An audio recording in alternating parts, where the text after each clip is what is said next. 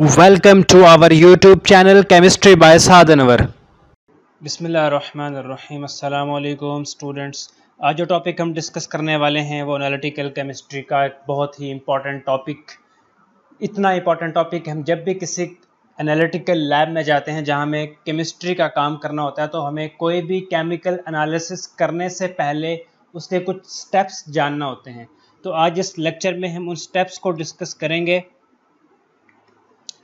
कि वो कौन से स्टेप्स हैं जो केमिकल एनालिसिस करने से पहले हमें पता होना चाहिए being a chemist being a analytical chemist steps of typical chemical analysis analytical process भी इसको बोलते हैं एनालिटिकल प्रोसीजर भी बोल सकते हैं. तो एनालिटिकल केमिस्ट जो होता है, उसको कोई भी टिपिकल केमिकल एनालिसिस करने से पहले कुछ स्टेप्स को जानना होता है. वो स्टेप्स कौन से होते हैं कि उसको ये पता हो कि प्रॉब्लम कौन सा है डिफाइनिंग द प्रॉब्लम फिर ऑबटेनिंग ए रिप्रेजेंटेटिव सैंपल उसको एक सैंपल ऑबटेन करना होता है, जो कि वाकई वाकई में रिप्रेजेंटेटिव सैंपल हो, ताकि वो अच्छा एनालिसिस कर पाए, फिर उसको preparing the sample for analysis analysis के लिए सैंपल को प्रिपेयर करना होता है, किसका सोल्यूशन बनाना होता है, इसको डील करना होता है परफॉर्मिंग नेसेसरी केमिकल सेपरेशन अपने सैंपल में से कुछ चीज़ों को अलग करना होता है, कुछ चीज़ों को रखना होता है, वो चीज़ें जो एनालिसिस में इंटरफेरेंस कर रही हैं, उनको सेपरेट करना होता है, कोई सेपरेटिंग टेक्निक्स यूज़ करनी होती है लाइक डिस्टिलेशन डायलिसिस क्रोमेटोग्राफी वगैरह। फिर जब वो एनालिसिस कर लेता है तो उसको मैयरमेंट करनी होती है डाटा कलेक्ट करना होता है, जिसको हम बोलते हैं परफॉर्मिंग द मैयरमेंट फिर इन दी एंड पे क्या करना होता है कि जो रिज़ल्ट आया, उस रिज़ल्ट को in the form of data report करना होता है रिज़ल्ट को बताना होता है। तो ये सारे स्टेप्स हैं। हम इन स्टेप्स को वन बाय वन डिटेल में स्टडी कर देंगे पहला स्टेप्स क्या हो गया कि डिफाइनिंग द प्रॉब्लम्स आपको ये तो पता हो कि प्रॉब्लम क्या है। आप एक एनालिटिकल केमिस्ट हैं, आपके पास लैब में कोई बंदा आता है, उसके पास एक सैंपल है लाइक उसके पास ग्राउंड वाटर है, उसकी एक छोटी सी बोतल है तो आपसे कहेगा कि, सर, मेरी इस बोतल का, में जो पानी है, उसका एनालिसिस कर दें। तो आप उससे पूछेंगे भी, क्या मसला है? प्रॉब्लम क्या है? आप क्यों एनालिसिस करवाना चाह रहे हैं? क्या इस पानी से आपके इलाके का जो लोग हैं, उनका पेट ख़राब हो गया? या इसमें आपको कोई ख़ास किस्म के ट्रेस एलिमेंट फाइंड करने हैं? आपको इसमें मैग्नीशियम देखना है? आपको इसमें ऑक्सीजन देखनी है, आपको इसमें कुछ पलूटेंट्स चेक करने हैं तो प्रॉब्लम को डिफाइन किया जाता है। जिसको हम यूँ कहते हैं what do we really needs to know आप जानना क्या चाहते हैं इस सैंपल में? आपके पास कोई ब्लड का सैंपल आता है तो आप इस सैंपल में जानना क्या चाहते हैं? क्योंकि ये तो मुमकिन नहीं है कि सैंपल में मौजूद हर चीज़ की जाँच पड़ताल की जाए सैंपल में मौजूद हर चीज़ को परखा जाए this is not possible not necessarily everything everything को आप कभी नहीं जान सकते। बहुत मुश्किल हो जाएगी, बहुत टाइम लग जाएगा, बहुत कॉस्ट लग जाएगी, बहुत बड़ा बजट चाहिए। तो आपको जानना होता है कि प्रॉब्लम क्या है। आपको डिफाइन करना होता है। डिफाइनिंग द प्रॉब्लम ये आपका पहला मेजर स्टेप्स है। इसके बाद बाकी स्टेप आएँगे। तो आइए आप मेरे साथ मिलकर इसको रीड करते हैं। Before the analyst can design an analysis procedure ही और she must know what information is needed जानना क्या है? बाय होम कौन जानना चाहता है? अगर आप एनालिटिकल केमिस्ट हैं, किसी क्लिनिकल लेबॉर्ट्री में काम करते हैं तो आप पूछेंगे कि क्या आप किसी क्लाइंट से पूछेंगे। क्लाइंट क्या है जो आपके पास बंदा आता है? आपके पास केमिकल एनालिसिस के लिए बंदा आता है तो आप उससे पूछेंगे कि आपको किसी डॉक्टर ने रिकमेंड की है ये लैब आप क्या जानना चाहते हैं? For what purpose and what type of sample is to be analyse sample आपके पास मुख्तलिफ़ तरह के हो सकते हैं गैस में हो सकता है सॉलिड हो सकता है लिक्विड हो सकता है ग्राउंड वाटर हो सकता है सीवेज वाटर हो सकता है ब्लड सैंपल हो सकता है प्रोटीन सैंपल हो सकता है एंजाइम हो सकता है। ये सब चीज़ें आपके पास बतौर सैंपल के आ सकती हैं जिनको आपको एनालिसिस करना होता है। तो पहला जो स्टेप्स था डिफाइनिंग द प्रॉब्लम्स उसके कुछ आप फैक्टर्स हैं। उसमें से बतौर एक बतौर एक एनालिस्ट या एनालिटिकल केमिस्ट बतौर एक केमिस्ट आपके पास एक स्किल होनी चाहिए। वो क्या स्किल है कि good communication with client client के साथ आपको अच्छी बातचीत करनी आए। क्लाइंट क्या है? वो साइल वो बंदा जो आपके पास आया ताकि आपसे डील करे। एनालिटिकल केमिस्ट हैं आप, आपसे एनालिसिस करवाए। वो बंदा जो आपके पास आया तो आपके पास गुड कम्युनिकेशन स्किल होनी चाहिए। This stage of analysis is perhaps the most critical अगर आपके पास अच्छी क्रिटिकल स्किल नहीं होगी सॉरी आपके पास अच्छी कम्युनिकेशन स्किल नहीं होगी तो आप क्लाइंट से सही तरह पूछ नहीं पाएँगे, सही तरह क्लाइंट के मसले को समझ नहीं पाएँगे, उसको जाँच नहीं पाएँगे तो अगर पहले स्टेप में आपने कोई मिस्टेक कर दी इंटेंशनली या अनइंटेंशनली गलती से भी कोई मिस्टेक कर दी तो आप एंड तक जितने भी स्टेप्स कैरी करेंगे एनालिसिस के तो उनमें वो मिस्टेक चलती रहेगी और आपके पास जो फाइनल रिपोर्ट आएगी, एहतमाल है कि उस रिपोर्ट में गलती ज़्यादा होगी। The stage of analysis perhaps the most critical आपके पास क्लाइंट कौन सा आ सकता है? क्लाइंट आपके पास एक E P S environmental protection agency से आ सकता है। कोई इंडस्ट्रियल केमिस्ट आ सकता है इंजीनियर आ सकता है और यहाँ तक कि आपकी दादी नानी भी आपके पास आ सकती हैं। और हर किसी की एक मुख्तलिफ़ क्राइटेरिया है मुख्तलिफ़ ज़रूरत है आपकी दादी को हो सकता है कि उसको अपना ब्लड सैंपल कर, चेक कराना हो यूरिन सैंपल चेक कराना हो। चूँकि आप एक लैब में काम कर रहे हैं तो आपसे ये सपोज़ करेंगी कि आप उसका ये वाला मसला हल कर दें। तो बड़ा इंपॉर्टेंट है कि कम्युनिकेशन इस लैंग्वेज में हो जो आपको भी अंडरस्टैंड कर सकें और क्लाइंट भी अंडरस्टैंड कर सके दोनों अंडरस्टैंड कर सकते हों। अगर आपके टेबल आप लैब में बैठे हैं और आप काम कर रहे हैं और आपके डेस्क पर, आपकी टेबल पर पानी की कोई बोतल आकर पटख देता है और पूछता है क्या ये बोतल सेफ़ है? इस बोतल में कौन कौन से केमिकल हैं? तो आप उसको बताएँ कि, ठीक है, मैं एनालिसिस कर दूँगा, लेकिन आप उसके साथ अपना रेट तय करें। आप उसे बता दें कि पर एनालिसिस 85 एलिमेंट्स के लिए 20 डॉलर लगेंगे और 1700 डॉलर में ये सारा काम होगा। तो ये रेट तय करना बड़ा ज़रूरी है। बड़ी इंपॉर्टेंट लाइन लिखी हुई है कि बतौर analyst and chemist need to be effective communicators of what our measurements represent जो मेयरमेंट्स आपके पास आए, आप अच्छी तरह कम्युनिकेट कर पाएँ। फिर है once the problem is defined एक दफ़ा आपको पता चल जाए कि मसला क्या है। तो इससे फिर, इससे क्या होता है? This will dictate how the sample is to be obtain तो फिर इससे ये आसानी होती है कि सैंपल को कैसे हासिल किया गया या हासिल किया जाना चाहिए।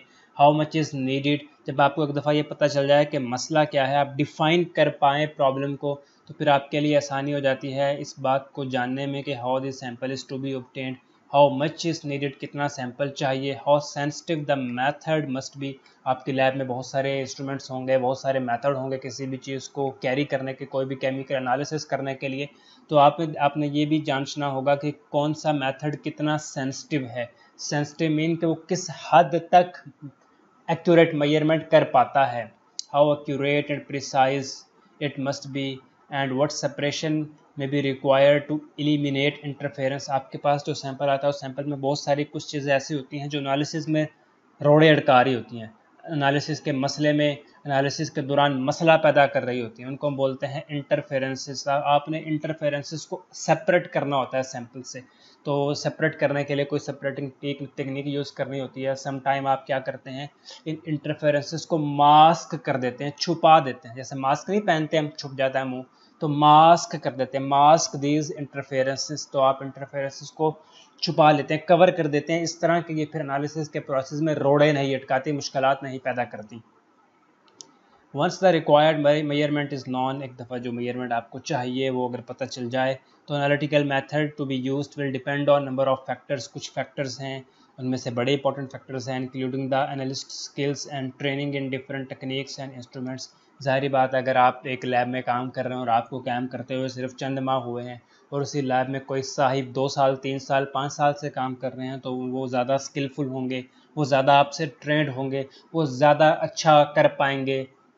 और फिर आपकी लैब में फैसिलिटीज़ कौन कौन सी हैं, ये भी मैटर करता है। इक्विपमेंट आपकी लैब में कौन कौन से हैं इंस्ट्रूमेंटेशन अवेलेबल कौन से हैं, और आपके पास जो चीज़ें इक्विपमेंट फैसिलिटीज़ इंस्ट्रूमेंटेशन है, वो कितने सेंसिटिव हैं? सेंसिटिव मीन वो किस हद तक मेज़रमेंट कर सकते हैं? हो सकता है कि आपका इंस्ट्रूमेंट इतना सेंसिटिव ना हो जो आपके पास सैंपल में चीज़ आई है, जो आपके पास सैंपल आया है, उसमें से जो चीज़ आपको मैयर करनी है, आपका इंस्ट्रूमेंट इतना सेंसिटिव ना हो और वो आप ना मैयर कर पाएँ। फिर प्रिसीजन रिक्वायर्ड होती है, दुरुस्त रिज़ल्ट चाहिए होता है। फिर कॉस्ट का पता हो बजट का पता हो, ये चीज़ें बहुत मैटर करती हैं। फिर टाइम ऑफ़ एनालिसिस का पता हो, और ये भी अब जानना बड़ा ज़रूरी होता है कि how soon results are needed हो सकता है आपके पास कोई ब्लड सैंपल आया किसी पेशेंट का सैंपल आया तो आपको जल्दी रिज़ल्ट देना है, वरना वो बंदा फड़क जाएगा, बंदा मर जाएगा। तो ये चीज़ें बड़ी मैटर करती हैं कि टाइम कितना है और कितनी जल्दी आपको रिज़ल्ट करके देना है।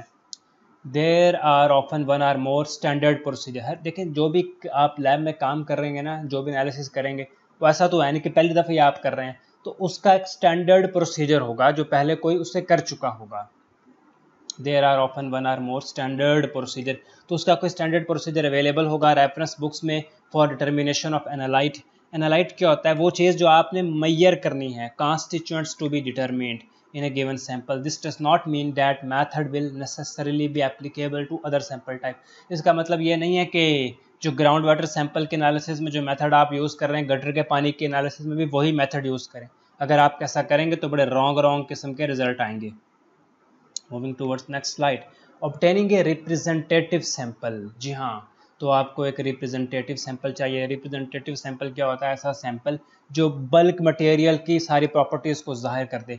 We can not analyse the whole thing ऐसा तो नहीं है कि आप सब कुछ, सारा चीज़ ही एक बंदे का सारा का सारा ब्लड लेके एनालिसिस कर लें, सारा ही ब्लड एनालिसिस कर लें, किसी इलाके का सारा ही ग्राउंड वाटर एनालिसिस कर लें।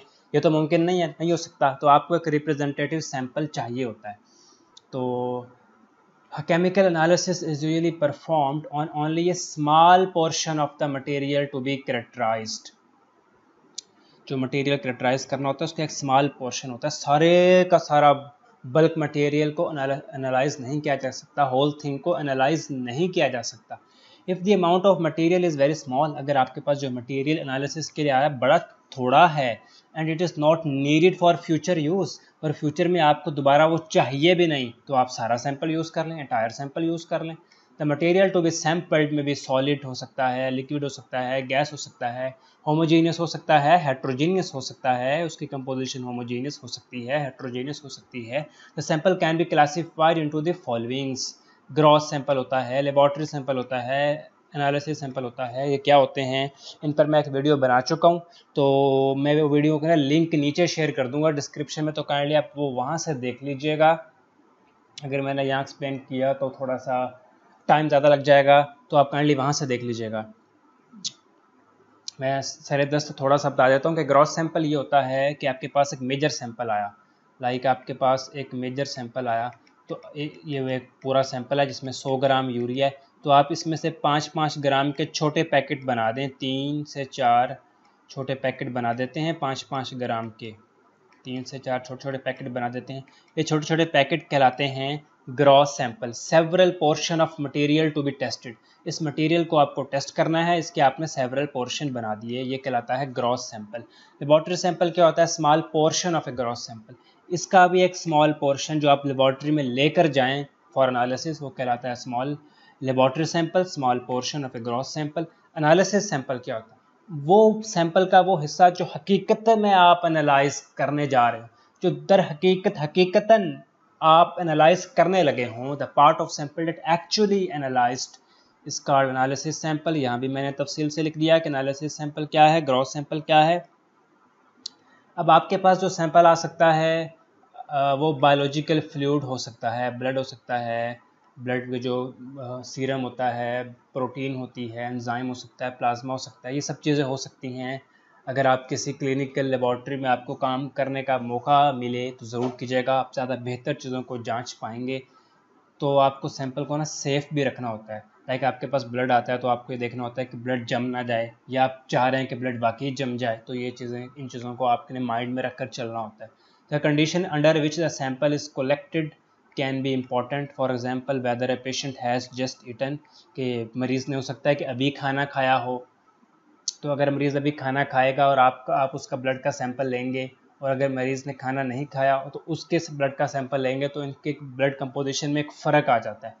The composition of blood varies considerably before and after meals and for many analysis sample is collected after the patient has fasted for a number of hours. और बहुत सारे केमिकल एनालिसिस के लिए biological fluids analysis के लिए ये recommend किया जाता है कि पेशेंट्स को खाना खाए हुए कई घंटे गुजर जाएँ और वो काफ़ी देर से उसने खाना ना खाया हो तो उसका सैंपल लिया जाए। Person who have their blood checked for cholesterol आपके पास बंदा आया, उसने कहा कि मेरे ब्लड में आप कोलेस्ट्रोल लेवल चेक करके दें। तो उससे बिलअमूम कहा जाता है कि आपने 12 घंटे तक कुछ नहीं खाना सैम्पलिंग से पहले, यानी कि 12 घंटे तक आपने कुछ नहीं खाना, फिर आपका ब्लड का सैंपल लिया जाएगा, फिर उसमें कोलेस्ट्रॉल लेवल को चेक किया जाएगा। तो इसके अलावा कुछ प्रेजर्वेटिव्स होते हैं, जैसे फ़ूड प्रेजर्वेटिव्स होता है जो खुराक को महफूज रखता है, इसी तरह ब्लड प्रेजर्वेटिव होता है, जो ब्लड को महफूज रखता है, उसमें से एक चीज़ होती है, sodium fluoride is a preservative sodium fluoride is a preservative sodium fluoride is a preservative ये ग्लूकोज प्रिजर्वेशन में यूज़ होता है। And anti coagulants for blood sample और ब्लड सैंपल के लिए कुछ एंटी कागुलेंट्स होते हैं जो ब्लड को क्लॉट नहीं बनने देते। ब्लड सैंपल में भी analyse as a whole blood तो थोड़ा सा जो आपने किसी पेशेंट का ब्लड सैंपल लिया तो उसको होल ब्लड पे एनालाइज किया जाएगा, जो उसका रिज़ल्ट होगा, उसे होल ब्लड पे समझा जाएगा। ऐसा नहीं करना कि किसी पेशेंट का सारे का सारा खून निकाल देना है। And they may be separated to yield plasma और सीरम प्लाज्मा क्या होता है? सीरम क्या होता है? इस पर मैंने यहाँ बात की है। सीरम कहते हैं fluid separated from clotted blood clotted blood से जो फ्लूड आया। प्लाज्मा क्या कहते हैं? Fluid separated from unclotted blood same चीज़ है। इसमें फ़र्क यह है फिब्रेनोजिन का। फिब्रेनोजिन एक क्लॉटिंग प्रोटीन है। ये आपके खून को जलने देती है। अगर आपके हाथ पे कहीं कट लग जाए तो आप देखते हैं थोड़ी देर बाद वहाँ खून बहता है। फिर थोड़ी देर बाद खून बहने की थोड़ी देर बाद वह खून जमना शुरू हो जाता है। तो क्लॉट बनना शुरू होता है। बड़ी नेमत होती है ये अल्लाह की। Fibrinogen if whole blood is collected and allowed to stand for several minutes the soluble fibrinogen will be converted by a complex series of chemical reaction into insoluble protein fibrin, जो कि बेस है clot की jail की। तो clotting process को अगर आपने prevent करना, आप चाहते हैं कि क्लॉटिंग का प्रोसेस ना हो, जो खून आपके पास ब्लड आपके पास आए, वो वो न जमे, वो क्लॉट ना बने तो उसमें आपको थोड़ी सी अमाउंट में एंटी कागुलेंट ऐड करना होता है, जो एंटी कागुलेंट एक हैपारिन है जो आपकी बॉडी में होता है, दूसरा एक सिट्रेट साल्ट होता है। सिट्रेट साल्ट को भी आप एंटी कागुलेंट के तौर पे यूज़ कर सकते हैं। कैल्शियम कॉम्प्लेक्सर होता है। But blood collection vials vials क्या होती हैं? छोटी छोटी ना शीशियाँ समझ लें। छोटी छोटी सी होती हैं। एक उंगली जितनी ऐसे भी छोटी शीशियाँ होती हैं। आप इसमें ब्लड कलेक्शन करते हैं तो इसमें ना आपको कोड लगाने होते हैं कि हर शीशी के ऊपर आपने एक कोड लगाना होता है जो रिफ्लेक्ट करता है, जो इंडिकेट करता है कि शीशी में क्या है, इस वायल में क्या है। Certain precaution should be taken in handling and storing samples. अक्सर अवकात आपको सैंपल को स्टोर भी करना होता है, फिर आपको सैंपल को हैंडल भी करना होता है तो आपको कुछ एहतियातों का पता होना चाहिए। अगर आपको एहतियातें ना पता होंगी तो आप क्या करेंगे? तो आपका जो सैंपल है, या तो आप डिकम्पोज कर बैठेंगे, सैंपल लूज, लॉस हो जाएगा सैंपल का, या सैंपल में आपको कंटेमिनेशन आ जाएगी। तो अगर आप चाहते हैं कि ना कंटेमिनेशन भी ना आए सैंपल लॉस भी ना हो डिकम्पोजिशन भी ना हो सैंपल का मैट्रिक्स चेंज भी ना हो तो आपको स्टोरिंग और हैंडलिंग में कुछ एहतियातों को मलहूज ख़ातर रखना होता है। तो इसमें कुछ चीज़ें ऐसी हैं कि एक तो कंटेनर है, बाज़ कंटेनर से ही कंटेमिनेशन हो जाती है। कंटेनर जिसमें आप सैंपल को रखते हैं, वही इम्प्योरिटी की वजह बन जाता है। एटमॉस्फेयर से कंटेमिनेशन का चांस होता है।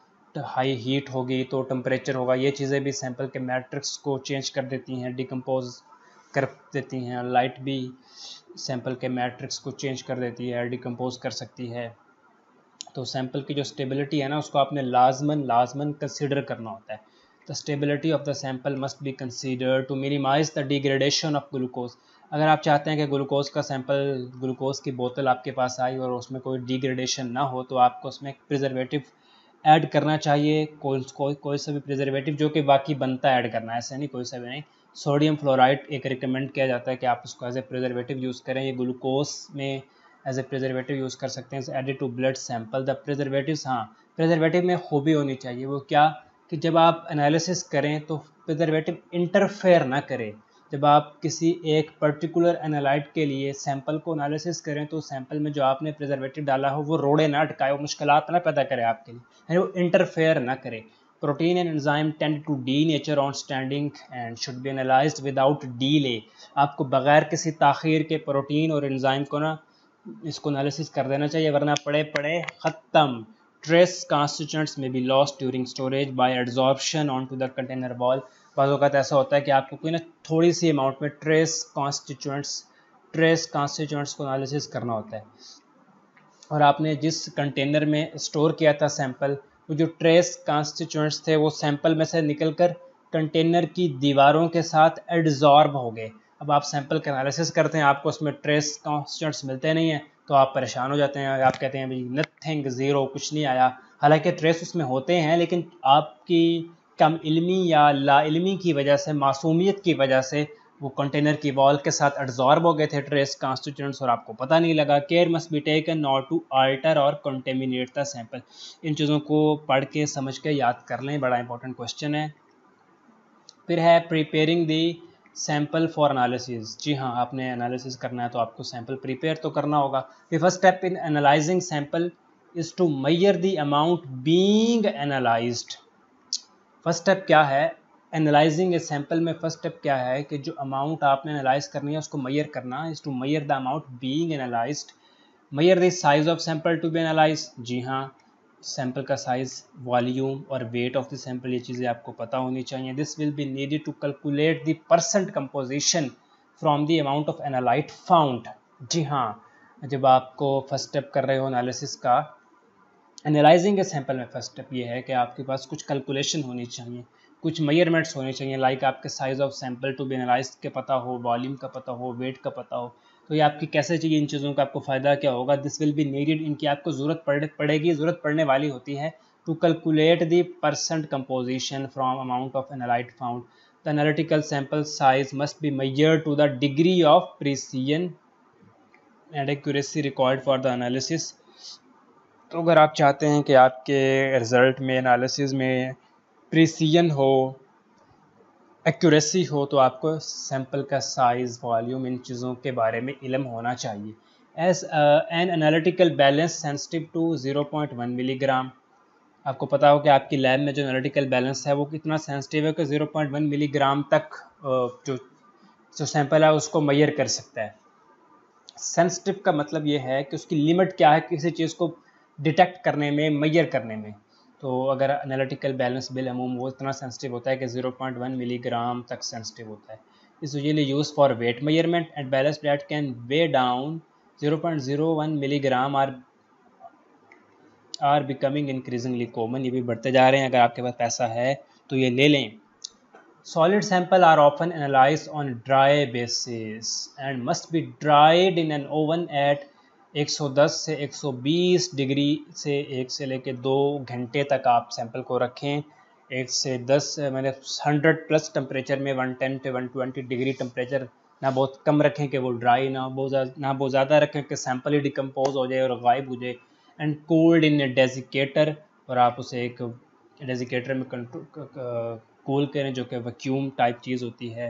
बिफोर वेइंग वज़न करने से पहले, पहल, if the sample stable at the drying temperature हाँ ये काम तब आपने करना है कि जो आप ड्राइंग टेम्परेचर है, उसमें सैंपल स्टेबल ऐसा ना हो कि आप सैंपल को हीट करें ओवन में रखें ताकि वो ड्राई हो जाए और जब आप ओवन को खोल के देखें चेक करें तो उस खाली सैंपल ही गायब हो जाए और आपके हाथों के तोते उड़ जाएँ तो ऐसे नहीं करना। सम सैंपल में भी require higher temperature and longer heating time कुछ सैंपल ऐसे होंगे जिनको आपको हाइयर टेम्परेचर देना होगा और पूरी पूरी रात के लिए उनको आपको हीटिंग में रखना होगा। जैसा हम ऐसे करते थे लैब में काम करते थे तो सैंपल को ओवन में रखते थे और हमारे सुपरवाइज़र कहते थे कि रात को ओवन नहीं चलाना, लेकिन फिर अभी हम उसे गोली कराते थे और सैंपल को ओवन में रख कर चले जाते थे। सुबह के लैब ओपन करते थे, हमारा सैंपल ड्राई हो जाता था। ओवरनाइट हीटिंग हमें चाहिए होती थी। तो ये चीज़ें आपके नॉलेज में हों कि सैंपल को ड्राई करना है तो सैंपल को कितना टम्परेचर चाहिए और कितना हीटिंग टाइम चाहिए। ताकि आप उसमें से जो मॉइस्चर हैं उसको रिमूव कर पाएँ। The amount of sample taken will depend on concentration of the analyte and how much is needed for isolation and measurement बहुत इंपॉर्टेंट बात लिखी हुई है कि आपको क्या, आपके पास कोई, आप चूँकि एनालिटिकल केमिस्ट हैं, आपको पास कोई आता है, आपको एनालिसिस करना है तो आप ये, आपको ये सोचना होता है, आपको ये जानना होता है कि कितना सैंपल मुझे चाहिए। How much amount of sample आपको चाहिए, कितना सैंपल आपको चाहिए तो ये कैसे डिपेंड करता है कंसनट्रेशन ऑफ़ द एनालाइट जो एनालाइट जिसको आप जाँच रहे हैं, उसकी कितनी कंसनट्रेशन आपको मैयर करनी है, और कितना आपको आइसोलेट करना है एनालाइट और उसकी कितनी मैयरमेंट लेनी है तो ये चीज़ें आपको पता होंगी तो फिर आप गेस कर पाएँगे कि मुझे इतना इतना सैंपल दे दो। या आप किसी भी लैब में जाए ना तो अब आपसे आप जो वहाँ एनालिटिकल केमिस्ट या कोई एनालिस्ट होता है तो वो आपको बताता है कि भाई इतनी अमाउंट में सैंपल ले आओ तो मैं आपको फ़लाँ चीज़ की मेज़रमेंट बता दूँगा, फलां चीज़ का एनालिसिस करके दे दूँगा। Determination of major constituents may require only 100 milligram of sample जबकि trace constituents require several gram फिर बाज़ात ये भी होता है कि सैंपल के अमाउंट इस तरह के मैटर करते हैं कि आपको अक्सर अवकात रेप्लिकेट मयरमेंट लेनी होती है। यानी एक से जायद बार आपको एनालिसिस करना होता है ताकि आप एक्यूरेट और प्रिसाइज रिज़ल्ट कैलकुलेट कर पाएँ। Usually replicate sample are taken for analysis in order to obtain statistical data on precision for analysis and this provide more reliable result जब आप बार बार मेयरमेंट लेंगे तो चांस है कि आपके रिज़ल्ट में ज़्यादा एक्यूरेसी होगी, ज़्यादा प्रेसियन होगी और उस पर जितने भी स्टेटिस्टिकल पैरामीटर होते हैं, आप उनको अप्लाई कर पाएँगे। एनालिसिस में भी a non destructive in nature हो सकता है कि जो आप एनालिसिस कर रहे हो नॉन डिस्ट्रक्टिव हो, तबाही ना फिरे। For example in the measurement of lead in paint by x ray fluorescence in which the sample is bombarded with x ray beam and the characteristic re emitted x radiation is measured more often the sample must be in solution form for measurement and solid must be dissolve अक्सर अवकात अगर ऐसा होता है कि analysis ना non destructive होता है जो सैंपल बच जाता है, फिर आप वापस ले सकते हैं। इनऑर्गेनिक मटेरियल में भी deserve in various acid redox और कॉम्प्लेक्सिंग मीडिया फिर आपके पास एक ऑर्गेनिक मटेरियल हो सकता है। That are to be analyse for inorganic constituents यानी इनऑर्गेनिक कॉन्स्टिट्यूंट्स जो कि मौजूद है ऑर्गेनिक मटेरियल में, उसको आपको एनालाइज करना है। मिसाल ले लीजिए trace metals trace metals may be destroyed by dry ashing dry ashing क्या है कि आपको ना ऑर्गेनिक मैटर को बर्न करना होता है बर्निंग करनी होती है। The sample is usually sorry sample is slowly combusted in a furnace at 400 to 700 degree leaving behind an inorganic residue that is soluble in dilute acid फिर आप उसका अनालिसिस कर पाते हैं, क्योंकि जो ऑर्गेनिक मटीरियल था वो आपने बर्न कर दिया बाय ड्राई एशिंग या वेट ऑक्सीडेशन मेथड होता है। परफॉर्मिंग नेसेसरी केमिकल सेपरेशन जब आपके पास सैंपल आ जाते हैं ना तो सैंपल में आपको एनालाइट तलाश करना होता है। सॉरी एनालाइट की, बल्कि यही कह लें कि एनालाइट तलाश करना होता है, उसकी कंसनट्रेशन मेयरमेंट लेनी होती है। तो उसमें ना और बड़ी चीज़ें होती हैं, जो बाज़ात अक्सर अवकात इंटरफेरेंस के रोल प्ले करती हैं। आपकी एनालिसिस में रोड़े अड़काती हैं मुश्किल क्रिएट करती हैं तो आपको उनको सेपरेट करना होता है। तो कुछ सेपरेटिंग टेक्निक्स आपको परफॉर्म करनी पड़ती हैं। Order to eliminate interferences to provide suitable selectivity in the measurement or to pre concentrate the pre concentrate the analyte for more sensitive or accurate measurement जी हाँ the analyst must often perform one or more separation steps it is preferable to separate the analyte away from this sample matter अच्छा यह कि आप analyte को ही separate कर लें, फिर easily analyte को आप एनालाइज कर लें। तो इससे ये भी होता है कि मिनी मिनी जो लॉस है एनालाइट का, वो बहुत कम होता है। कुछ सेपरेशन स्टेप्स हैं जो आपको पता होंगे, आपने कभी केमिस्ट्री पढ़ी है तो पढ़े होंगे।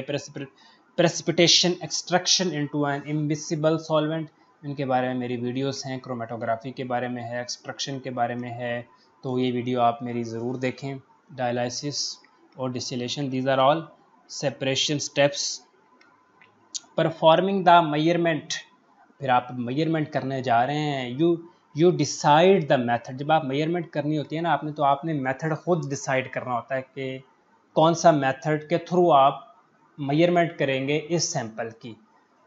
तो ये मेथड डिसाइड करने से पहले आपको ये देखना होता है कि कौन सा मेथड कितना सिलेक्टिव है, कितना सेंसिटिव है। कितना एक्यूरेट है, कितना प्रिसाइज और कितना सस्ता है या महँगा है और कितना रैपिड है। सेलेक्टिविटी पे तो हमने बात कर ली। सेंसिटिविटी पे तो हमने बात की थी। सेलेक्टिविटी ये है कि आपके सैंपल में तो एक से ज़ायद चीज़ें होंगी। तो आपका जो मेथड है वो किसी एक चीज़ को पिक करेगा ना, सब चीज़ों को तो पिक नहीं करेगा। आपका जो इंस्ट्रूमेंट है वो किसी एक दो चीज़ों को पिक करेगा, एक दो चीज़ों को एनालाइज करेगा। हर चीज़ को तो सैंपल में मौजूद, हर चीज़ को तो एनालाइज नहीं करेगा। तो सिलेक्टिव होगा, जैसे हम सिलेक्टिव स्टडी नहीं करते पेपर से पेपर के करीब सिलेक्टिव स्टडी करते हैं, बहुत कुछ छोड़ देते हैं, कुछ खास खास चीज़ें पढ़ लेते हैं। लाइक सेलेक्टिव स्टडी तो इस तरह डिग्री ऑफ़ सिलेक्टिविटी होती है आपके टेक्निक्स में मेथड में प्रोसीजर में और इंस्ट्रूमेंट्स में। कुछ क्लासिकल मेथड होते हैं, कुछ इंस्ट्रूमेंटल मेथड होते हैं। क्लासिकल मेथड और इंस्ट्रूमेंटल मेथड पर भी मेरा एक लेक्चर रिकॉर्डेड है तो काइंडली आप वो सुनिएगा, आपको बड़ा उससे फ़ायदा होगा।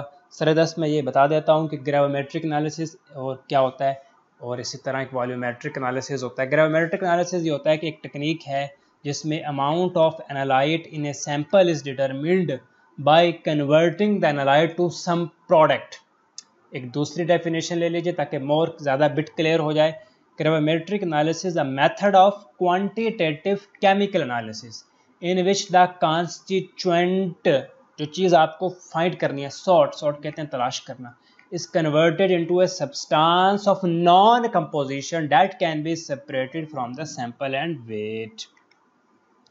Volumetric और टाइट्रीमेट्रिक एनालिसिस है, या तो आप स्कूल में भी कॉलेज में भी लैब में करते आए कि टाइट्रेशन टाइट्रेशन जो है, वही है उसे टाइट्रीमेट्रिक एनालिसिस और वॉल्यूमेट्रिक एनालिसिस कह रहे हैं। Then light react with a measured volume of reagent of non concentration उसकी कंसनट्रेशन आपको पता होती है, जो रिएजेंट का वॉल्यूम है, वो मेजर्ड होता है तो टाइट्रेशन का, जैसे जैसे टाइट्रेशन का प्रोसेस है, ये वही बात है। तो फिर टाइट्रेशन के एंड पे कोई फ़िज़िकल और केमिकल प्रॉपर्टी चेंज होती है कोई सिग्नल होता है कलर चेंज होता है जिससे आपको पता चल जाता है कि रिएक्शन के एंड पॉइंट आ गया कंप्लीशन होगी। तो gravimetric and volumetric analysis can provide result accurate and precise to a few parts per thousand tenth of a one percent हाँ ज़्यादा एक्यूरेट है। However, they require relatively large quantities, millimoles and milligram of analyte and only suited for the measurement of major constituents. फिर अगर हम दोनों को compare करें volumetric और टाइट्रीमेट्रिक को तो वॉल्यूमेट्रिक एनालिसिस के बारे में ये ख्याल है कि volumetric analysis more rapid than gravimetric analysis and is therefore preferred when applicable कुछ इंस्ट्रूमेंटल टेक्निक्स हैं, कुछ इंस्ट्रूमेंट्स के बारे में हम बात करते हैं are use for many analysis and constitute the discipline of instrumental analysis. They are based on measurement of physical property of the sample. मिसाल ले लीजिए electrical property or the absorption of electromagnetic radiation. Example are spectrophotometry इस पर आप मेरी video lecture देखें ultra violet visible infrared fluorometry atomic spectroscopy absorption emission सारे instruments हैं ना जो लैब में होते हैं, उनके बारे में उनके बारे में बात कर रहे हैं, जो आप फ्यूचर में पढ़ेंगे, अगर आपने अभी तक नहीं पढ़े N M R x ray spectroscopy आप में से जो स्टूडेंट्स जो बच्चे किसी लैब में काम करते रहे हैं, जिनका लैब वालों के साथ लिंक है, कोई याराना है, कोई दोस्ती है, कोई एक्सपोयर है तो वो इन इंस्ट्रूमेंट्स को बेहतर समझ पाएँगे। अभी हम इनके नाम पढ़ रहे हैं। इलेक्ट्रोनालिटिकल केमिस्ट्री में potentiometry voltammetric electrolytic chromatography gas and radio chemistry chromatography में मेरा लेक्चर है, इसे ज़रूर सुन के देख लीजिए। स्पेक्ट्रोफोटोमेट्री पे मेरा लेक्चर है स्पेक्ट्रोस्कोपी पे, इन चीज़ों पे मेरे लेक्चर्स हैं। अब्जॉर्प्शन और अब्जॉर्प्शन इमिशन स्पेक्ट्रोस्कोपी पे लेक्चर है। Instrumental techniques are generally more sensitive and selective than classical techniques और क्लासिकल टेक्निक्स तो पुरानी गल है, पुरानी बात है। आजकल instrumental techniques instruments computerise automated ये वाली गेम चल रही है। This techniques are usually more expensive ज़ाहरी बात है इंस्ट्रूमेंट्स हैं तो महँगे तो होंगे।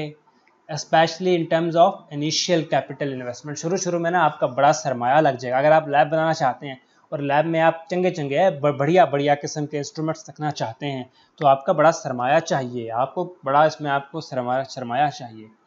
But depending on number of analysis they may be less expensive लेकिन आपको इसका फ़ायदा ये होता है कि अगर आपने नंबर ऑफ़ एनालिसिस करने हैं तो क्लासिकल मेथड में शायद आपको महँगा पड़ता इंस्ट्रूमेंटल मेथड में वो आपको सस्ता पड़ जाता है ओवरऑल अगर देखा जाए।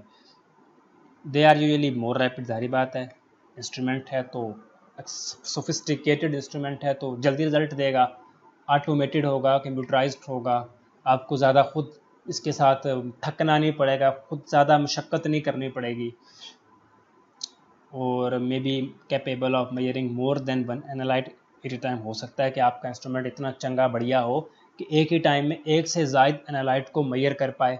फिर chromatography technique are particularly powerful for analysing complex mixture chromatography आप जानते हैं क्या होता है? इस पर एक वीडियो लेक्चर है सुन लें, फ़ायदा होगा। They integrate the separation and measurement of steps instrument standard standardisation बड़ी अहम बात और समझने की बात। देखिए, जब आप इंस्ट्रूमेंट जो आप इंस्ट्रूमेंट यूज़ कर रहे हैं, अब आपको कैसे पता चलेगा कि आपका इंस्ट्रूमेंट सही रिज़ल्ट दे रहा है या इंस्ट्रूमेंट सही रिज़ल्ट नहीं दे रहा? तो आपने इंस्ट्रूमेंट्स को स्टैंडर्डाइज करना होता है। स्टैंडर्ड स्टैंडर्डाइज करना होता है। आपने कहने का मतलब यह है कि ये जांचना होता है कि आपका इंस्ट्रूमेंट सही रिज़ल्ट देता है कि नहीं। तो इसके लिए आप क्या करते हैं? हम इसको थोड़ा समझने की कोशिश कर लेते हैं। पेन निकाल लें यहाँ से। हैं इसके लिए पेन निकाल लें। आप कुछ नॉन सोल्यूशन होता है आपके पास, कुछ ऐसे सोल्यूशन होते हैं जिनकी कंसंट्रेशन आपको पता होती है। कुछ ऐसे सोल्यूशन होते हैं जिनकी कंसंट्रेशन आपको पता होती है, जिनके बारे में आपको बहुत सी चीज़ें नॉन होती हैं। और आपको पता होता है कि इन सैंपल को अगर आप अपने इंस्ट्रूमेंट में रन करेंगे, इन सैंपल को अगर आप अपने इंस्ट्रूमेंट में चलाएँगे तो आपके पास ये वाला रिज़ल्ट आना चाहिए। फिर ये वाला सैंपल आप अपने इंस्ट्रूमेंट में चलाते हैं और वही रिज़ल्ट आ जाता है जो कि आना चाहिए था। तो इसका मतलब है आपका इंस्ट्रूमेंट सही काम कर रहा है। ये मैंने एक रफ आइडिया आपको दिया। नाउ मूविंग टू वर्ड्स वो भाई येलो कलर आ जाओ। Most instrumental method of for analysis are relative आपने कंपेयर करना होता है, किसी के साथ कंपेयर करके यानी कंपेयर करना होता है कंपेयर करके कुछ चीज़ों कैलकुलेट करना होता है, जैसे हम विस्कोसिटी वगैरह में करते हैं सरफेस टेंशन वगैरह में करते हैं। Instrument register a signal due to calibration curve calibration curve क्या होती है? बात करते हैं। Is the instrument response as a function of concentration to some physical property of solution? Instrument को स्टैंडर्डाइज करने में कैलिब्रेशन कर्व का बड़ा रोल होता है। Spectrophotometer for example measure the fraction of electromagnetic radiation from a light source that is absorb by sample ये एक sample है। ठीक। यहाँ से इसमें लाइट आ रही है तो इस सैंपल ने, इस सैंपल ने इस आने वाली लाइट को कुछ अब्जॉर्ब किया। तो आपने ये मैयर किया कि इस सैंपल ने कितनी लाइट को अब्जॉर्ब किया। ये मैयर करके आपने कुछ कैलकुलेशन की। This fraction must be related to analyte concentration by comparison against the fraction absorb by known concentration of the analyte कहने का मतलब वही है कि इंस्ट्रूमेंट को आपको स्टैंडर्डाइज करना होता है। कोई ऐसा आपको सैंपल यूज़ करना होता है जिसके बारे में आपको बहुत सी चीज़ें पता होती हैं, फिर आप क्या करते हैं, उसको रन करते हैं, वो रिज़ल्ट वही आता है जो कि आना चाहिए, अगर वो आ जाता है तो इसका मतलब है कि आपका इंस्ट्रूमेंट सही काम कर रहा है स्टैंडर्डाइज आपने कर लिया। कैलिब्रेशन इज़ अकम्पलिश्ड बाय कैसे की जाती है कैलिब्रेशन ये देखें how calibration is done how calibration is accomplished कैसे की जाती है? इस preparing a series of standard solution of analyte at known concentration आपको पता होता है कि कंसनट्रेशन क्या है? ये स्टैंडर्ड सोल्यूशन होता है।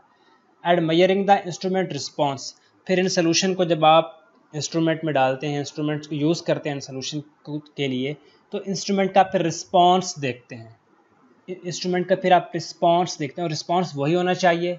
कौन सा स्टैंडर्ड सोल्यूशन का आपको पता है? सब कुछ तो रिस्पॉन्स भी आपको पता होगा कि ऐसा ही होना चाहिए। अगर वैसे ही रिस्पॉन्स आ जाता है इंस्ट्रूमेंट का, इसका मतलब इंस्ट्रूमेंट ओके है गुड है अच्छा काम कर रहा है। तो कैलिब्रेशन कर्व को हम क्या कहते हैं? कैलिब्रेशन कर्व कुछ खास खौफनाक चीज़ नहीं है। इंस्ट्रूमेंट का रिस्पॉन्स है कि इंस्ट्रूमेंट ने कैसे रिस्पॉन्स किया against standard solution of analyte at known concentration the response of instrument to know about the standard solution of analyte at non-concentration as a function of concentration कोई मसला हो तो पूछ लीजिए calculating the results and reporting the analyte फिर अब आपने सब कुछ कर लिया इंस्ट्रूमेंट से रन कर लिया अब आपको रिज़ल्ट आएगा तो डाटा मिलेगा तो आपने डाटा को ना रिपोर्ट करना डाटा को बताना है कि वो मुझे ये मिल गया once the concentration of analyte in the prepared sample solution has been determined Analyst must provide expert advice on significance of the result.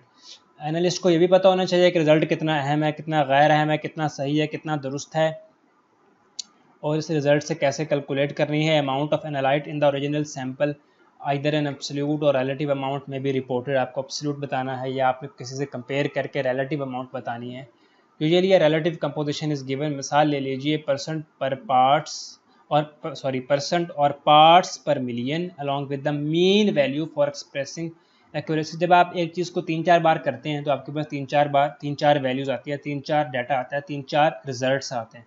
तो आप उनका एवरेज ले लेते हैं, जिससे आप ज़्यादा एक्यूरेट हो जाते हैं, ज़्यादा एक्यूरेसी की तरफ़ चले जाते हैं। Replicate analysis can be perform तीन से चार बार भी आपको करना पड़ता है जांचने के लिए कि आप सही काम हो रहा है, सही रिज़ल्ट आ रहा है। प्रिसीजन हासिल करने के लिए आपको रेप्लीकेट एनालिसिस भी करने पड़ते हैं। The analyst should critically evaluate whether the result are reasonable और relate to the analytical problem as originally stated अगर आप एक एनालिस्ट हैं एनालिटिकल केमिस्ट हैं तो आपको रिजल्ट्स को इवेल्युएट करना आना चाहिए। आप इस रिज़ल्ट की जाँच पड़ताल कर पाएँ, उसे परख पाएँ, उसे एवेल्यूएट कर पाएँ। फिर दूसरी बात यह है कि जब कस्टमर आपके पास आया क्लाइंट आपके पास आया कि, सर, मेरे इलाके का पानी चेक कर दें, सर, मेरा ब्लड सैंपल चेक कर दें, सर, मेरा यूरिन सैंपल चेक कर दें तो आपके पास ना अच्छी कम्युनिकेशन स्किल होनी चाहिए क्योंकि जो बंदा आपके पास आ रहा है, वो हो सकता है वो एक अनपढ़ बंदा हो, ज़्यादा पढ़ा लिखा ना हो, उसका कोई साइंटिफिक बैकग्राउंड ना हो तो आप उसको समझा बुझा पाएँ तो आप उसको एक्सपर्ट एडवाइस दे पाएँ, उसे रिज़ल्ट की अहमियत को बता पाएँ। और ये ऐसा ही होगा जब आपकी कम्युनिकेशन स्किल्स अच्छी होंगी, आप बातचीत कर पाएँगे। एंड आपका इंटरेक्शन अच्छा होगा कस्टमर के साथ। देखें, ये ना जो हमने अभी तक डिस्कस किया, ये बिल्कुल बेसिक्स है किसी भी केमिकल एनालिसिस की। ज़्यादा अच्छा आपको नॉलेज कैसे मिलेगा जब आप किसी भी लेबार्ट्री में किसी बड़े केमिस्ट के साथ, किसी सीनियर एनालिस्ट के साथ कुछ अरसा छोटे बन के काम करें। आप किसी का छोटा बनेंगे लैब में तो आपको चीज़ें आएँगी। तो सारी बातें यहाँ तक कंप्लीट हो गई। इसको हम थोड़ा ना रिवाइज कर लेते हैं। डिफाइनिंग द प्रॉब्लम्स प्रॉब्लम को डिफाइन करें। जी हाँ बात हम कर चुके हैं। फैक्टर्स कौन से हैं? What is problem what needs to be found आपको जानना क्या है? क्वालिटेटिव की जानना है क्वांटिटेटिव जानना है। What will the information be used for आपकी जो इन्फॉर्मेशन आपको मिलेगी कि आपको कहाँ यूज़ करनी है? क्या किसी डॉक्टर ने यूज़ करनी है, किसी इलाके का पानी चेक कर रहे हैं या कोई कहीं मर्डर हो जाता है तो आपके पास मर्डर जो जिस बंदे का कत्ल हो गया, उसका कोई सैंपल आता है तो पुलिस ने इसको यूज़ करना है। Who will use it when will it be needed कब चाहिए? देर तो नहीं करनी। How accurate and precise does it have to be like अगर आपके पास कोई पेशेंट का सैंपल आता है तो आपको ज़्यादा एक्यूरेट और प्रिसाइज होना पड़ेगा। अगर आप गलती कर देते हैं और कोई डिज़ीज़ होती है और आपको पता नहीं चलता, या कोई डिज़ीज़ नहीं होती और आप उसको डिज़ीज़ बना देते हैं तो मसला बन जाएगा। फिर वॉट इज़ बजट और आपके पास बजट क्या है? कस्टमर के पास पैसा कितना है? ये चीज़ें मैटर करती हैं, ना माने करती हैं। The analyst the problem solver should consult with the client to plan a useful and efficient analysis including how to obtain a useful sample जो एनालिस्ट है, जो कि प्रॉब्लम सॉल्वर है, वो क्लाइंट के साथ, आने वाले गाहक के साथ कस्टमर के साथ अच्छी बातचीत करे, उसके साथ कोई गपशप करे, ताकि इन सब चीज़ों का पता चल जाए उसे। ऐसा ना हो कि बंदा आया है और कस्ट और जो एनालिस्ट है प्रॉब्लम सॉल्वर है, उसने सैंपल लेके रख लिया और पूछा ही नहीं कि सैंपल का करना क्या है, यार इसमें मैंने देखना क्या है? तो ये चीज़ें आपको पता करनी होती हैं। सिलेक्ट ए मैथड फिर आपको मैथड सेलेक्ट करना है तो उसके बहुत सारे फैक्टर्स हैं जिसको हमने इस तरह लिखा है। सैंपल टाइप क्या है? ब्लड सैंपल है यूरिन सैंपल है वाटर सैंपल है सीवेज सैंपल है साइज़ ऑफ़ सैंपल क्या है? सैंपल प्रिपरेशन चाहिए कि नहीं कंसनट्रेशन एंड रेंज क्या है सेलेक्टिव कितना चाहिए सेंसिटिव कितना चाहिए एक्यूरेसी प्रिसीजन कितनी नीडेड है टूल्स इंस्ट्रूमेंट्स कौन कौन से अवेलेबल हैं, आपके पास महारत कितनी है, कीमत कितनी, खर्चा कितना आपका लगेगा स्पीड कितनी लगेगी, क्या does it need to be automated क्या खुद आपके पास ऐसा इंस्ट्रूमेंट हो सकता है कि आप सैंपल रखें और खुद ही सब कुछ कर कर के आपको दे दे। और जो मेथड आप कर रहे हैं, फिर एक अहम बात यह है कि जो मेथड आप परफॉर्म करने लगे हैं, क्या मेथड किसी केमिकल लिटरेचर में पहले से रिपोर्टेड है अवेलेबल है, या आपने खुद ही कोई जुगाड़ किया हुआ है? तो बहुत सारे पॉइंट्स हैं, इन पॉइंट्स को आपको, चंद एक पॉइंट्स आपको मेन मेन पॉइंट्स तो आने ही चाहिए। फिर ऑप्टेनिंग का रिप्रेजेंटेटिव सैंपल हाइड्रोजीनियस हो सकता है होमोजीनियस हो सकता है सैंपल सैम्पलिंग करने के दौरान कुछ एरर हो जाते हैं तो आपको उनको स्टेटिस्टिक लगानी होती है। स्टेटिस्टिकल पैरामीटर लगाकर उन एरर को हैंडल करना होता है। Prepare the sample for analysis sample liquid हो सकता है गैस हो सकता है। देखिए, अगर आपका सैंपल लिक्विड है तो आप उसे कोशिश करें कि सैंपल कहीं एडजॉर्ब बनाओ। सॉरी सैंपल अगर सॉलिड है तो कोशिश करें कंटेनर की दीवारों के साथ एडजॉर्ब बनाओ कंटेमिनेट ना हो। लिक्विड है तो कोशिश करें सैंपल वेपोरेट ना तो कोशिश क्या करें बाकी सैंपल वेपोरेट नहीं होना चाहिए, उसकी कंसनट्रेशन चेंज नहीं होनी चाहिए। अगर आपका सैंपल गैस है तो गैस में बहुत चांस होता है कि सैंपल गायब हो जाएगा। तो आपको एक कंटेनर में उसे बंद करें, फिर उस कंटेनर को दूसरे कंटेनर में बंद करें। इस तरह आप महफूज रख सकते हैं। क्या सैंपल डिजल्व होता है? सैंपल ऐश और डाइजेस्ट ये एक टेक्निक्स हैं। ऐश का एक बर्न करते हैं इसमें। डाइजेस्ट क्या है कि इसमें एक टेक्निक है।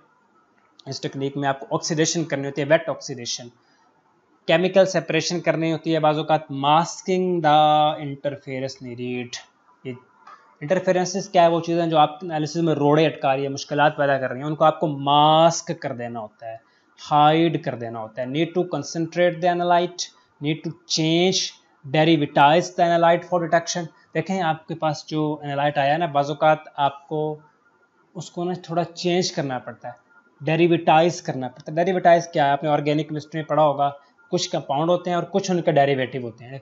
अमोनिया के डेरिवेटिव वाटर के डेरिवेटिव यानी कंपाउंड को थोड़ा बहुत चेंज करके, उसके साथ कुछ और एलिमेंट लगाकर, कुछ और आइटम लगाकर, आप उनके डेरिवेटिव बनाते रहते हैं। तो ये कहलाता है डेरिवेटाइज तो बाज़ात एनालाइट को अच्छी तरह जांचने के लिए आपको उसके साथ कुछ और खुद से लगाना पड़ता है, यानी डेरिवेटाइज करना पड़ता है। Need to adjust solution condition pH air reagents वगैरह, ये चीज़ें perform any necessary chemical separation distillation precipitation solvent extraction solid phase extraction chromatography electrophoresis ये चीज़ें आपकी आपको करनी होती हैं।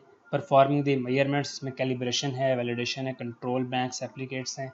तो आप ये देख लें कैलिब्रेशन क्या होती है वैलिडेशन क्या होती है एप्लीकेट्स हमने इन पर बात कर ली।